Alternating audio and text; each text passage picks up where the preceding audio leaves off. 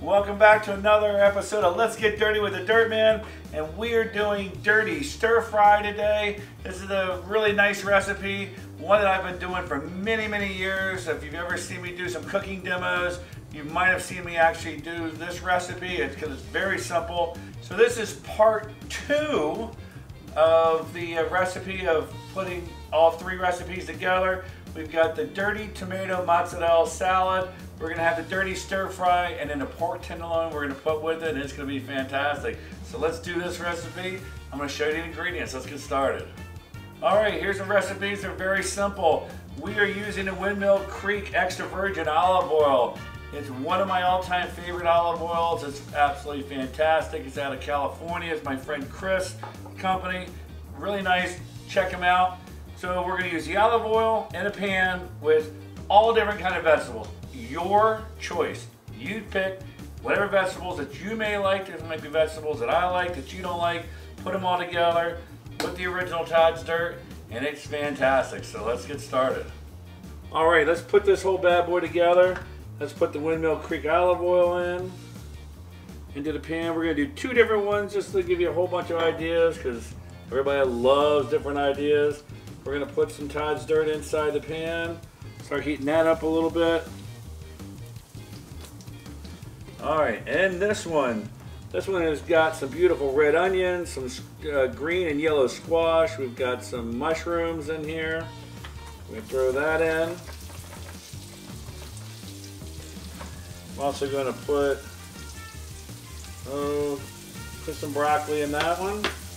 And then this one is gonna be more of a pepper one. So we're gonna yellow pepper, red pepper, green pepper.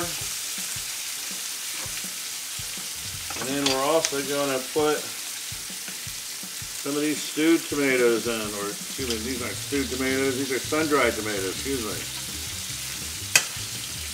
These are, is ama this is amazing. All right, we're gonna mix this up really nice.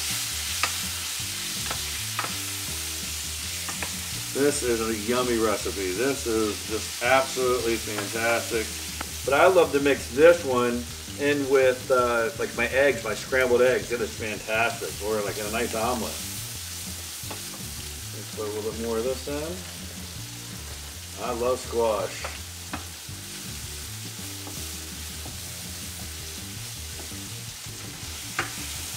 Oh yeah. And believe it or not, that's it. There's not much to it. This is such an easy recipe. In about four to five minutes, this recipe will be done. We'll be right back. Okay, these are about done. It's been about uh, about six, seven minutes. We're gonna plate these now. Now remember, with the original dirt, you can put as much or as little of this as you want. It, it really works well. So I didn't really give you uh, two teaspoons, one teaspoon. Do it to taste. Always do it to your taste.